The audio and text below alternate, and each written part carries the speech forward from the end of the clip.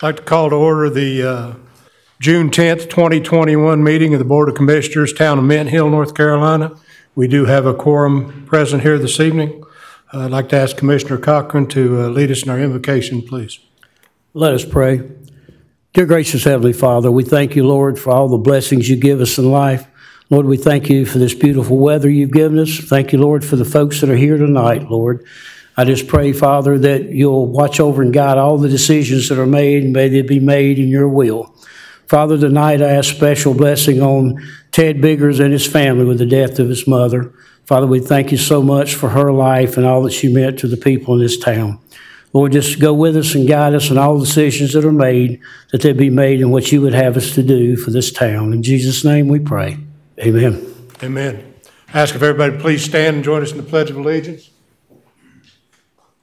Pledge allegiance to the flag of the United States of America and to the republic for which it stands, one nation, under God, indivisible, with liberty and justice for all.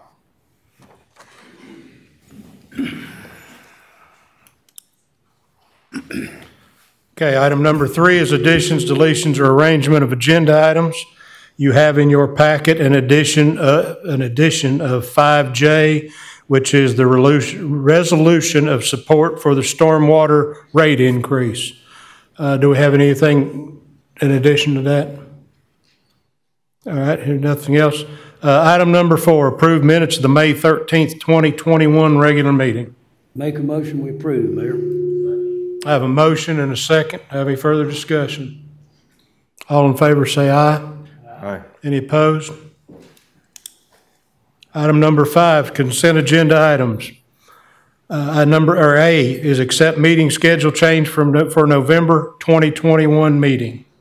B, adoption of ordinance related to code violation appeals process.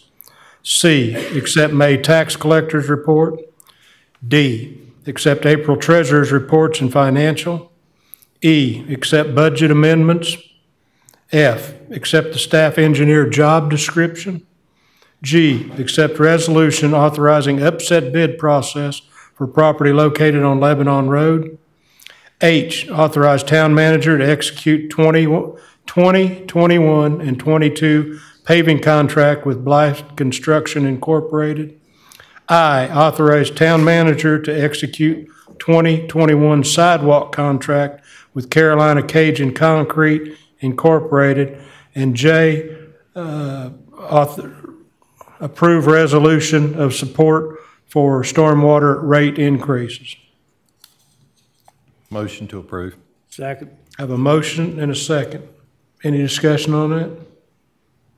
All in favor, say aye. Aye. Any opposed? Item number six, I'll now open the public hearing on ZC 21-6 filed by Richard A. Peniston to allow a rezoning from R to RCD to allow a new church located at 5345 Wilgrove Mint Hill Road, tax parcel number 137-051-11 and 5341 Wilgrove Mint Hill Road, tax parcel number 137-051-21. The the applicant is present. If you would state your name and address, please, sir, you have the floor. Uh, My name is Richard Peniston. Uh, Good evening, Mr. Mayor, Commissioners. I'm pleased and honored to present this application for rezoning uh, for the Medhani Alem Catholic Church of Ge'ez Rite in Charlotte uh, at the addresses you just mentioned. Uh, Briefly, I want to, uh, well, first of all, am I speaking too close or too far from the You're microphone? fine, you're fine. First of all, I want to, the, I'm sure the name uh, of the church sounds uh, different to all of us. It did to me. Um, Medhani Alem means Holy Savior, and uh, Ge'ez Rite is an ancient language. The Catholic Church is a single church. However, it does have many independent churches under its uh, umbrella. Uh, 23 different ones in the east and one in the west. The one we see most frequently in the west is based in Latin language and, and is the one we're most familiar with. It. Uh, however, there's uh, Benedictine, Coptic, um, Armenian, uh, other ones in the east, and they have their own liturgical rites and are based in their own la- ancient languages. Uh, This church is based on uh, the coast of the Red Sea and uh, the ancient language it's based in is Ge'ez, G-E-E-Z. That's where that comes from. Uh, So just for understanding, it is a Catholic church for all intents and purposes otherwise. Um, About the uh, property in question, it's uh, located on Wilgrove Mint Hill Road with approximately 650 feet of road frontage. There's two homes on it, uh, about six and a half acres in total. Uh, One home, which is about 400 feet off the road, has over 3,200 square feet and is, it is intended in this application for that home to be used uh, for uh, worship, uh, fellowship, uh, prayer, rosaries, and related church activities. The other home, it's intended to be for uh, study, uh, prayer, and uh, um, uh, things of that nature. Uh, At this time, the uh, applicants do not tend to make any changes to the property. There is a long paved driveway leading to the rear home and a shorter one leading to the front home. The rear home is uh, amply screened by mature shrubbery uh, and trees, and the, the uh, front home, which is close to Wilgrove Mint Hill Road, is uh, also surrounded by attractive plantings.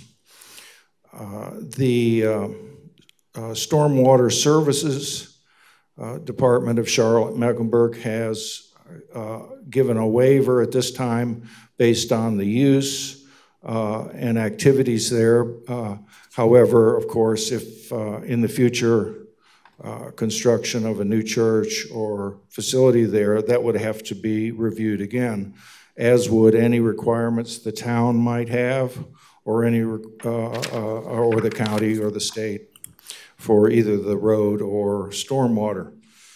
Um, At the present time, it is anticipated that there would be as, uh, no more than 15 cars entering and leaving on the weekend. Uh, The property would not typically be used or occupied nor used as a residence uh, during the week. Uh, It uh, will, uh, the paved area will accommodate approximately eight cars at a time. And there's areas adjoining the driveway that would easily accommodate further cars to the extent that there would be more than that. Uh, The um, uh, couple of members of the uh, uh, church are here uh, and um, stand up. Um, They uh, immigrated from Er- Eritrea on the Red Sea. They've been here approximately 30 years. They have families and businesses and um, are uh, excited to become part of this community. They plan to be assets in the community and promise to be the best neighbors ever. Uh, Thank you. Very good. Thank you very much. Uh, Questions, Commissioner Long? Not at this time. Well, I do have, the item that's showing, you're speaking of two homes, uh, Mr. Peniston? Yes. The one, the one in the, Ms. Mull, Brenda Mullis's house in, uh, is not shown on this survey. I don't have a survey of that property. But it- It's the, it's that- the outlined in green block. that is inclusive. Hers. Yes. Okay, I thought, that's my quick, quick, thank you. Commissioner Cochran? Uh, The only question I have is about parking, and you, uh, I didn't realize there wouldn't be any more cars than that, but that's, if it's uh, 10 to 15 cars, should be ample parking in there for It's that. a small community at this time. Or Pro Tem Dalton? Uh, no, you, good presentation. You answered all my questions I had, so. Thank you. Commissioner Holton? What, what are the typical days of service for this particular church? Sunday. Just Sunday? I expect they might have activities on um, Saturday possibly as well, but uh, like all the rest of us, they have jobs and businesses. and Yeah. It's a, it's a typical uh, uh, Catholic church. So you said average of 15 people there. Is that how, many- like, how many active members are there right now within that church? Or, I- I'm told that uh, it would be active members, including families with children, uh, are fewer than 50. okay. And then where are they meeting now? at um, uh, different Catholic churches all around because uh, they um, are scattered about. And so different ones go to St. Luke's, they go to one, uh, um, uh, the one on Idlewild Road, uh, and uh, around the area. The, the intention is to be able to have some services uh, in the ancient language of their, which is very important in their faith. So looking towards the future, are they looking to, if they outgrow this space, to build something else on that land? Yes. Okay. That's kind of their vision, is just a, this is the starter and then it'll, Uh, Yes, exactly. okay, thank you. Is there anybody present here this evening that wanted to speak to this public hearing? We have, anybody send anything in to speak to this public hearing? Hearing nothing else, thank you very much, and we will close public hearing on ZC twenty-one six. Item number seven, I'm going to open the public hearing on ZC twenty-one seven filed by MHIP LLC to allow a rezoning from IGCD to change conditions at Mint Hill Business Park, tax parcels 139-092-17, 139-092-33, 139-092-19, 139-092-20, 139-092-21, 139-092-22, 139-092-23, 139-092-24, 139-092-25, 139-092-26, 139-092-27, 139-092-28, and 139-092-29. I see the applicant is with us this evening. If you would state your name and your address for the record, sir, you have the floor. My name's David Jones, uh, 9827 Thorn Ridge Drive in Indian Trail.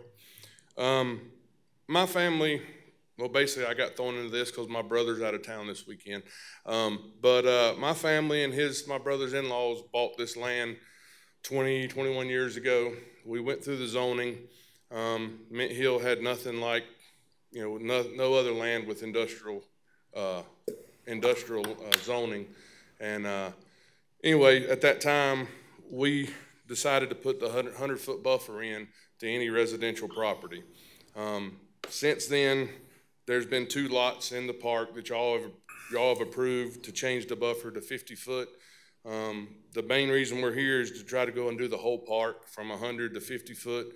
One, to save the other six or seven parcels time of coming to this, to do this zoning and then coming back to do other zoning, and also to keep y'all from having to go through six or seven more uh, public hearings for the same thing.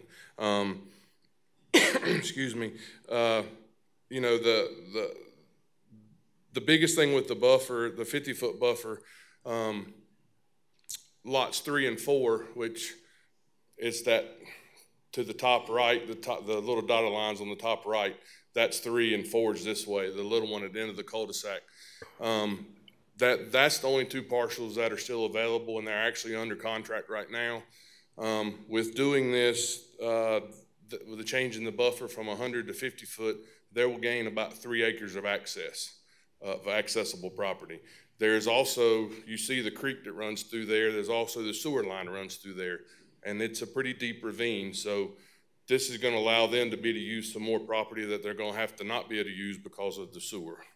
Um, it's just, we're just trying to help them because we were asked to help them and we figured we would probably ask for the other six or seven parcels too, so trying to save us time and y'all time. Um, you know, and there again, two and, to lot two and thirteen, the second lot at the top that's broken in half, they've actually, done, I think, a two and two A now. Um, that's already been done. That's Lanier coming off Cabarrus Road and Lanier Materials. And thirteen, which is the first one on fifty-one, which is my, my facility, which is C and M Leasing. Um, both those buffers have already been changed in the last, I know ours was done about three months ago. I think Lanier's was at least in the last year. So if it, I'll be glad to ask, answer any questions if I can. If not, I think John's been very involved. I don't know if you were here when it first went through twenty years ago, but I don't remember because I wasn't involved in either. My parents were. But, uh, if I can't get you an answer tonight, my brother will be back and I can get an answer Monday or Tuesday for you. Questions, Commissioner Holton? I think my biggest concern is these buffers are set up as a protection boundary, especially between residential. Correct. And the ones that have been approved and changed are out on the outer area, which are not bordering residential, correct? Uh, no, they are residential. The one on our lot, there was two there. Uh, oh, sorry, the top left, uh, both of those are residential, but the houses were a long ways away. It's been a long time since I've walked the whole property. I mean, probably 15, 18 years. Yeah. Um, but I don't remember any house being within hundred or hundred and fifty foot of the end of the property lines. And I think, I mean, just being completely honest from my point of view, I mean, I understand what you're trying to do is just wrap it all up at one shot here. I would rather do it on a case-by-case basis personally, because I don't know what's going in on these two lots right now. And with that being residential back behind there, Well, I know three and four, I've, John has seen, uh, Chuck had it, and I had, he showed me one. They're planning on coming off Drillmack Drive and putting an office right there, and then to the left, going up where that double one is, two and three, or it's actually two, but it's two and two A. They're gonna have to run a drive there and put a bridge in over the sewer in the creek, and then they'll come, I believe it's right below that point, probably hundred and fifty yards off the property line, and I think they're gonna build some kind of building there. Yeah. And I guess the rest would be, just be storage yard. I'm not hundred percent positive on that. yeah, I mean, like I said, it's just my point of view there. I mean, I understand what you're trying to accomplish here. To me, it's just a cart in front of a horse type deal. But like I said, I'm just one. I understand. Appreciate it. That's Thank why we're here. Thank you. Pro Tem Dalton?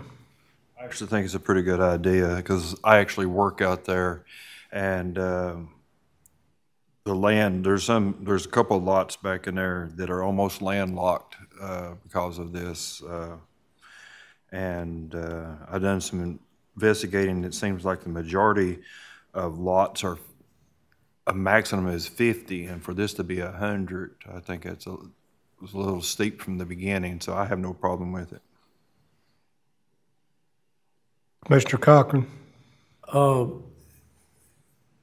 the lots that have not been extended or shortened to 50 foot, have, is there, and I've never walked it, you said it's been a long time since you walked it, but the border around it, is it a wooded, is it got, is, I think everything but the, uh, there's one lot that does have some woods. It's actually behind Dale Dalton where he works behind Griffin and they actually own it. There's a field there. Um, I can't remember how far back the property goes into the pines, but I do think it goes a little ways. I mean, I don't know how far, maybe 15, 20 feet. so right now, most of the property is gonna have a border of trees wooded, around it? Okay, that's fine. Yes, sir. Commissioner Long? No, sir, thank you. Is there anybody present this evening here to speak to, to ZC twenty-one seven? If you'd like to come forward, sir.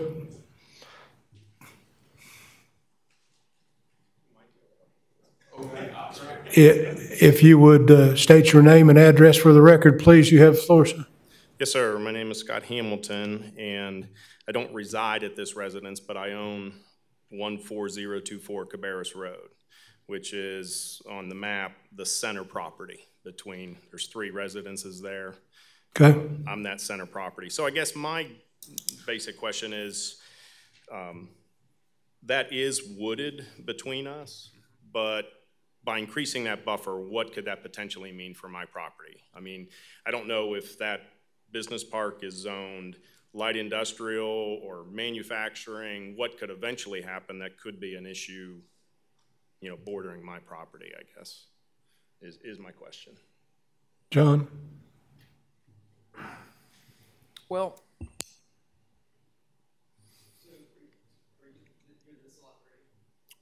Uh, no, I'm sorry. One more to the right. That one, yep. Correct. All right. Um, so maybe you can share with them. Yeah, uh, they gave me, a- and I don't know, like I said, my brother gave this to me. And this, I guess is preliminary, because they hadn't brought it to y'all yet, correct? Unofficial. Um, This is that, this lot, um, and this lot. So this would be your property. They're pro- proposing to put a building here because that, you know, the ditch is there, the big ditch.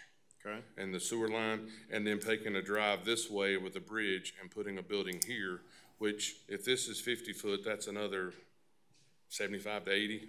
And then this, would- I'm assuming would just be storage. Okay. I, I don't, I don't know of what kind or, it's a grading company, I do know that. that's Okay, that was looking my at it, but question. they're- What- you know, what They're not is- gonna be doing work there all the time, they're gonna be out on jobs, I'm assuming. Gotcha. Okay. That would, that, that's just my concern is how would that affect my property, you know?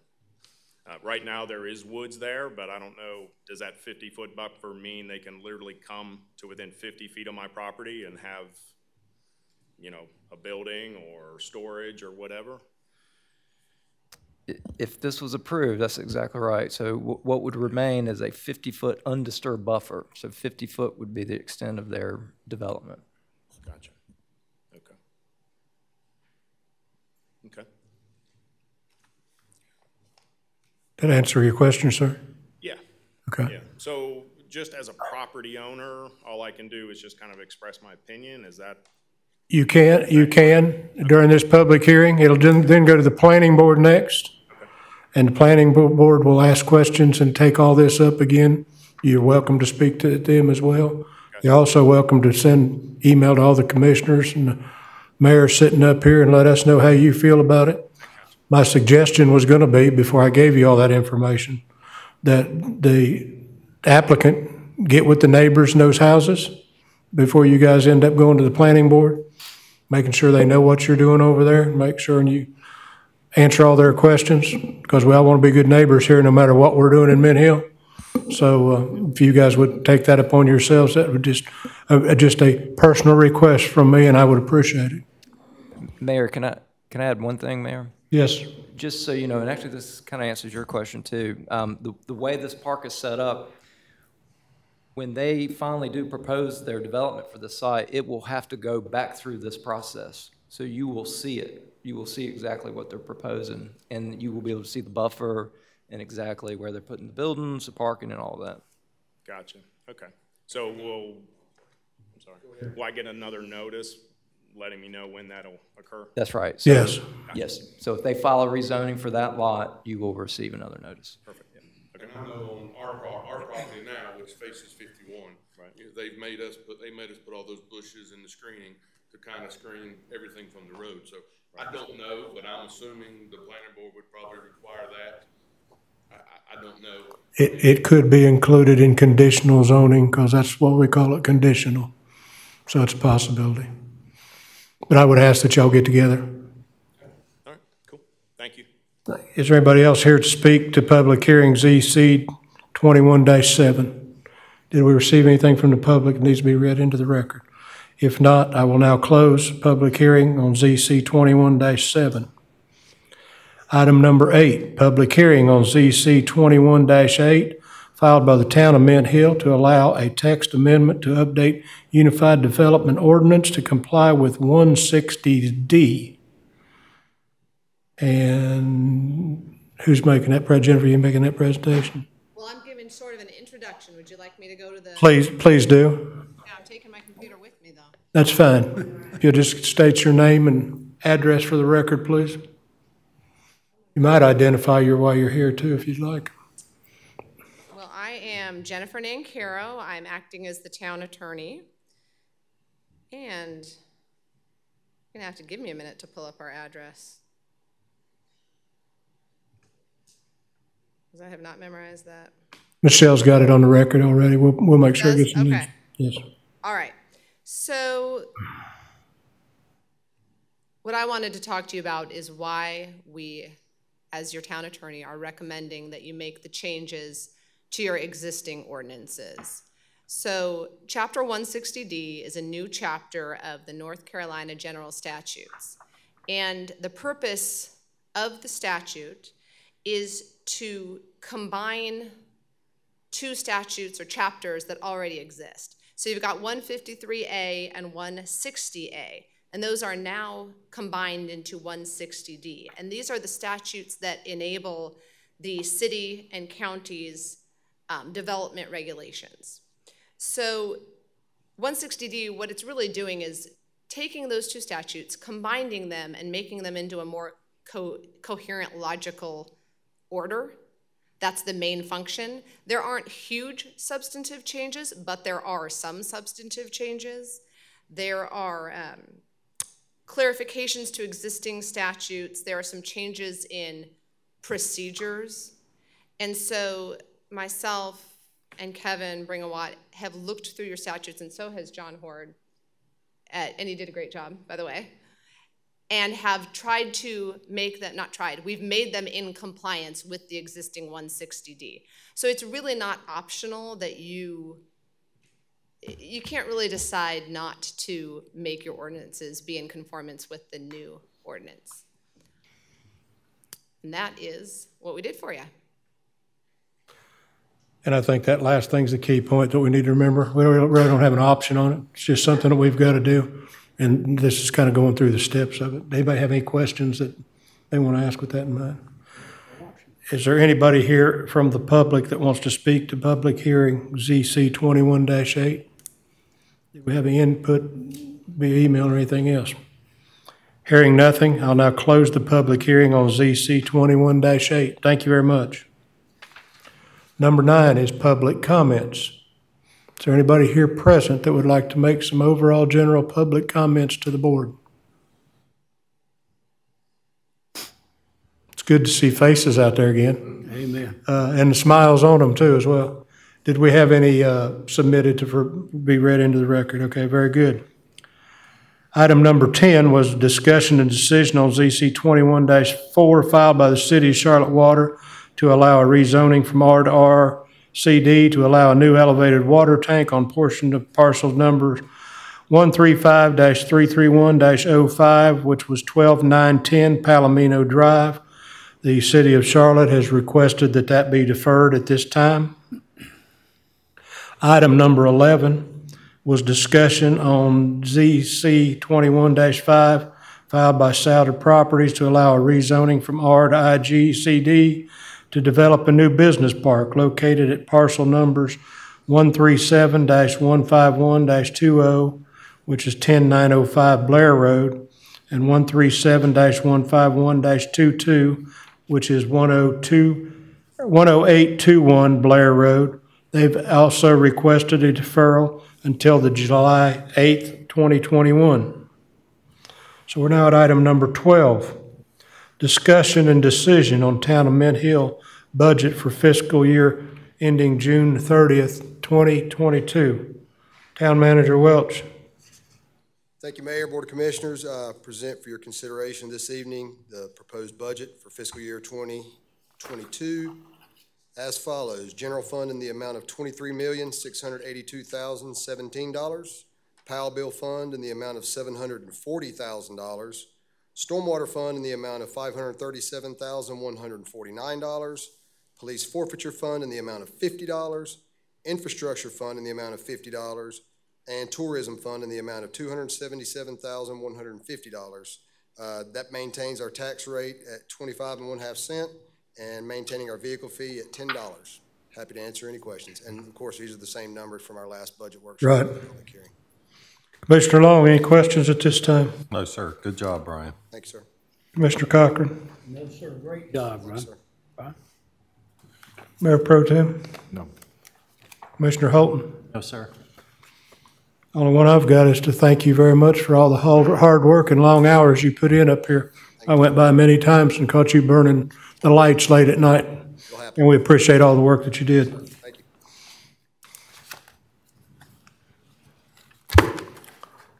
Hearing none, do we have a motion on the So moved. budget? Second. I have a motion and a second. Do I have any further discussion on the budget for fiscal year ending June thirtieth, twenty twenty-two? Hearing none, all in favor say aye. Aye. Any opposed? That passes unanimously. Item number 13, Uh, Appointments to the Planning Board. We have uh, three, well, truthfully, four members of the Planning Board whose terms are currently getting ready to expire. Uh, Those are Jennifer Manchester, Chip Todd, and Eric Tyson. They, we have been in contact with all of them. They wish to continue in those seats. Just so that you know, you also have all the other applications there that are on file currently at this time. Mr. Mayor, I'd make a motion to reinstate Jennifer Manchester, Chip Todd, and Eric Tyson for another term on the planning board, which would expire June 30th, 2023. Second. I have a motion and a second. Do I have any further, any discussion? Hearing none, all in favor say aye. Aye. Any opposed? We also have a term for the following ETJ member of the Planning Board, which will expire, expire on June 30th, 2021. A recommendation by the Mint Hill Board of Commissioners will need to be made to Mecklenburg County for the ETJ appointment. Current member at that, on that seat is Roger Hendricks. Roger has been, let us know that he wishes to continue in that seat. You also have any applications attached to it, people, no, we don't have any other ETJ appoint, or applications. Roger's the only one, so. A motion to reinstate Roger Hendricks as ETJ member of the planning board with his term to expire June 30th, 2023. Second. I have a motion and a second. Do I have any discussion? Hearing none, all in favor say aye. Aye. Any opposed? All appointees will serve until June 30th of 2023. Item number 13, other business and council matters. I'm going to start with Commissioner Long. No, sir, it's, it's exciting to see new asphalt going down on Wilson Grove Road to Independence High School. And I do want to give kudos to Steve and his crew with Public Works. I don't know that he had anything to do with this, but I think he should take credit. They improved a drainage issue at Nelson Road and Wilgrove Mint Hill in the last week, which has been needing work for several years. So I think Steve probably gets credit for that. Thank you. Commissioner Cochran. Chief Hatley, I think I've seen Chief come in somewhere. Uh, Kudos to your officers. They're working very hard on the roads. Uh, I see them doing traffic stops, and and I appreciate, uh, I think it's going to help the speeding that's going on in town, that we know, we all know people are speeding on 218 and down 51 and 35 zone, and I see them sitting there policing that, and I do appreciate that very much. Good public safety. Mayor Pro Tem Dalton. I'd like to follow up uh, Mike also. uh, Saw uh, Officer Austin this week, and he was talking how they had up a roadblock. And he said it's surprising how many people were driving without insurance or license. Um, uh, The public is noticing this, and it is very welcome. Thank you so much. And I'll go off of what uh, Brad also said. Uh, Mayor Brad is, it is so good to go out and see people out here again, smiling faces, and was able to get a few hugs before the meeting started. Uh, It's just a sign of things are coming back, and it's so welcomed. Thank you. Commissioner Holton. On that, this Saturday, first family fun night in what, a year and a half, two years? Yeah, It seems like it at least. Moving in the right direction. Um, I'm excited for it, and I hope we see a lot of, big chunk of the town out there this Saturday night. Anybody from staff have anything? John, Lee? Chief? Or young man, anything from the fire department? Appreciate you being here. Uh, I just want to chime in that I love to see people back here in this room. Uh, you see staff sitting around here, staff, I can promise you, has been working themselves to death, no matter what was going on with this COVID thing. They just weren't out in the public and you didn't get to see them out there, but they, they've been working hard, uh, pulling the budget together. We've got a new website that I got a lot of compliments on. I was at a Kiwanis meeting earlier this week. Uh, we held it at the park where we were out in the open and it was fresh air and people didn't have masks on and, and, uh, I just sat there and grinned for about an hour and fifteen minutes. It thrilled me to death, but, uh, Newtown website's up and running. You can stay up to the current events, under everything that's going on on the website. Uh, staff's still working on, uh, some projects that we talked about during retreat, although a lot of them are, they, a lot of them they got done. Um, And even Cheryl has a smile on her face because like you said, we're getting ready to start some of our town events together with some of our uh, family fun nights. Madness is on the agenda for October, so that'll be back. There's still rumors that we're going to have Christmas parade. Uh, And we're, we're all looking forward to that already. I already got people calling me wanting to know what they can do, so. um, Thanks to the town for making us look good through this COVID thing. Um, All, all of you stepped in and did well with uh, getting all your vaccines done. Any of you that haven't, uh, I would ask that you do it for your neighbor. You may not like the shot yourself, but your neighbor might be appreciative of it. So with that being said, uh, I'll accept a motion to adjourn. Make a motion. So moved, all in favor? Aye. We are so now adjourned.